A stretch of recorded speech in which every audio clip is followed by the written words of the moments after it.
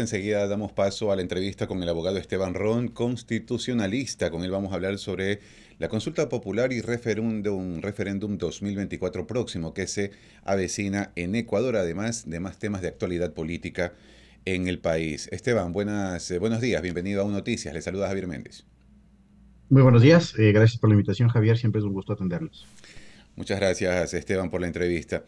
La fecha establecida para la consulta popular y referéndum es el próximo domingo 21 de abril. En esa jornada todos los ecuatorianos estamos convocados a acudir a las urnas para ejercer el derecho al sufragio y según el calendario electoral la campaña se llevará a cabo del 7 al 18 de abril en todo el país. Pero en medio de esta coyuntura política, Esteban, ¿cómo se presenta esta, esta nueva consulta popular? Lo escuchamos. Bueno, Javier, es muy interesante la configuración de esta consulta popular porque es una figura que nunca la hemos visto, al menos en el Ecuador. ¿sí? Esta consulta popular, y si bien los últimos mandatarios han acudido a la misma como una especie de trampolín de aceptación política y ciudadana, eh, en este caso de los presidentes de la República que las han propuesto, esta empieza de una manera diferente. ¿Y por qué? Porque al menos no se ha visto que dentro de los planes de gobierno y planes de trabajo se la establezca a la consulta popular como un mecanismo gubernamental. Más bien era una válvula de salida para obtener ciertos resultados y modificaciones principalmente constitucionales para determinados esquemas de gobernanza que tiene que aplicar en este caso el candidato que se vuelve mandatario.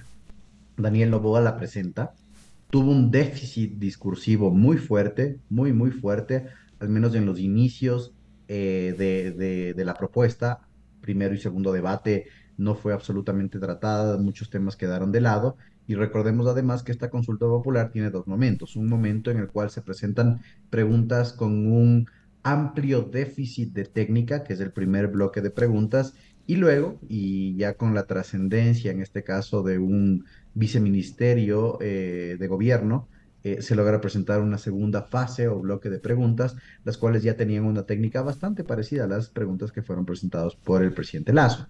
Pero digamos que en este caso es cumplimiento de un plan de trabajo y que Daniel Novoa tenía clarísimo que quería ir hacia esta. Hay una adecuación, sí, de temática, porque recordemos que la agenda temática en el Ecuador cambió sobre la base de temas de seguridad. Y es por eso que esta, esta, esta consulta popular cambia y digamos que tiene un, un diferente estatus, al menos en la finalidad. Y ahora más que tenemos una situación de seguridad complicada y además una medida antipopular como el aumento del IVA. Entonces, esta consulta se configura tal vez como una catapulta política hacia o que trate de frenar los efectos de la medida antipopular aumento IVA. Y precisamente en todo este contexto que acaba de mencionar Esteban, ¿no? y sabiendo que son 11 preguntas eh, las que van a aparecer en la papeleta de la consulta y también del referéndum por parte del presidente Daniel Novoa, Ahora, con esto el presidente busca obtener reformas en materia laboral, penal, economía y también de seguridad, como lo acaba de mencionar Esteban, pero ¿qué quedó fuera y qué sobra en esta consulta popular? A ver, mira, eh, la primera pregunta que es absolutamente inoficiosa es el tema de la titularidad de los bienes eh, que provengan de un ejercicio ilícito, ¿sí? O de origen ilícito.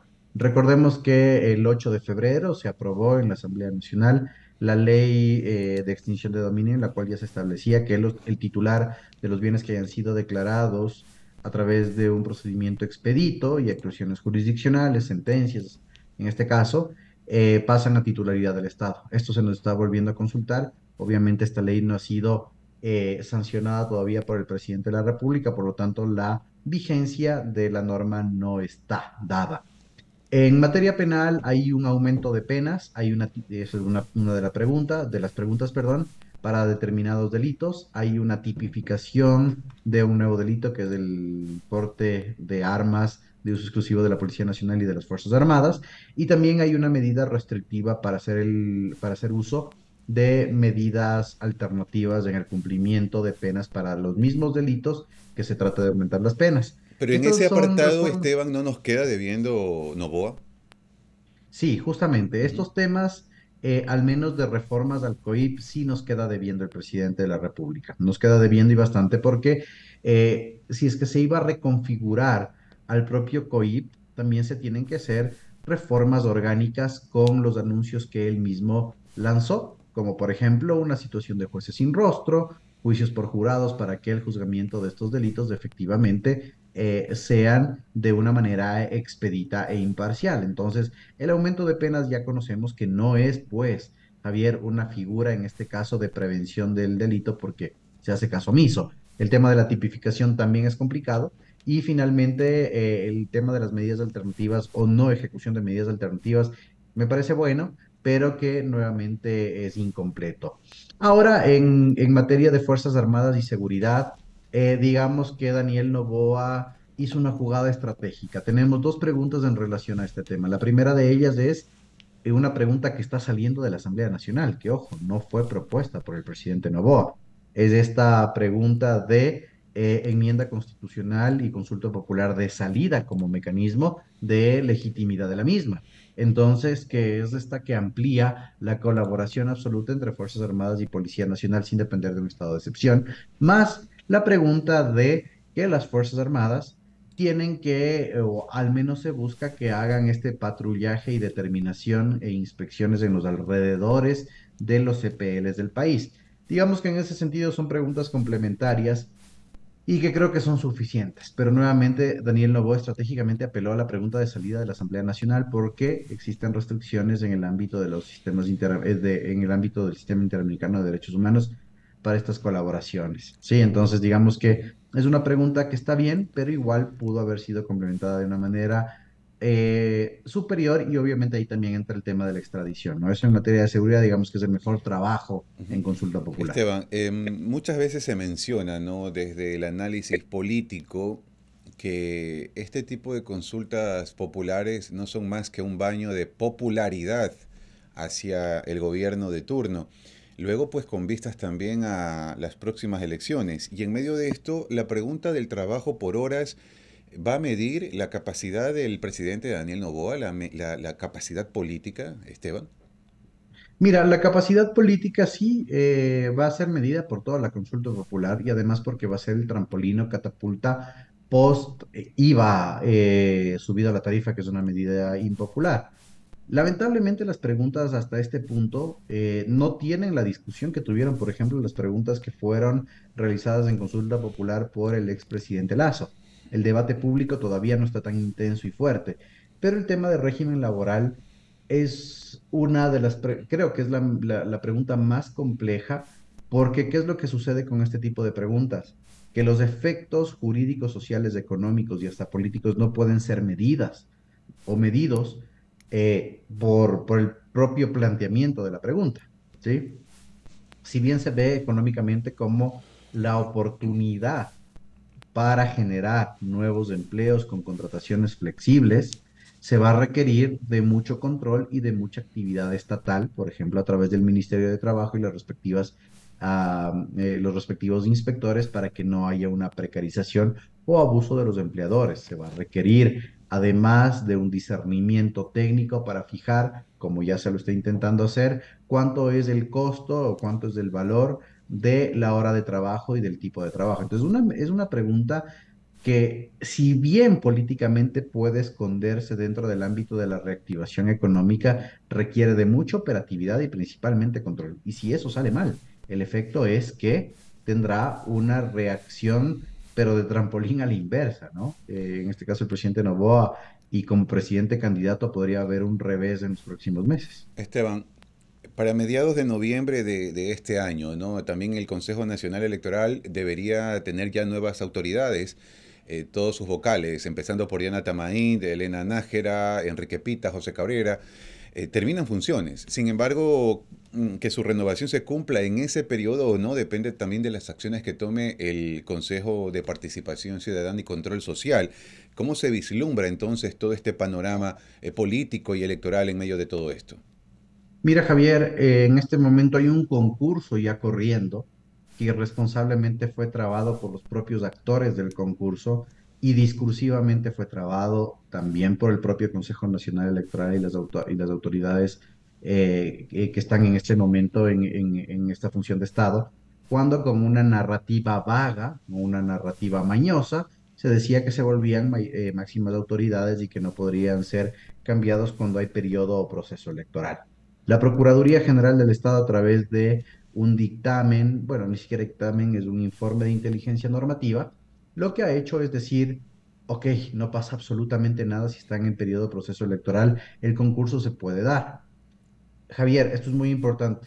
El concurso ya para una renovación parcial de dos consejeros fue convocado, está en ejecución y está en proceso de evaluación. De hecho, los concursantes van a entrar a la fase de oposición, ¿sí? Que es las pruebas de constancia profesional, académica y la exposición final, que es la entrevista, ¿sí? Pero ¿qué es lo que tiene que hacer el Consejo de Participación Ciudadana? Realizar una calendarización, de hecho yo escuchaba a, una de las consejeras y a la presidenta señalar que en dos meses tendríamos nuevas autoridades, al menos dos nuevas autoridades. ¿Se puede cambiar esto? Sí, absolutamente, ¿sí? Y si estamos hablando de dos meses, estamos hablando al mes de mayo-junio, ¿no es cierto? Donde no hay ya un proceso electoral de consulta popular porque ya se ha acabado, ya se tendrían que haber dado los resultados y todavía falta la convocatoria.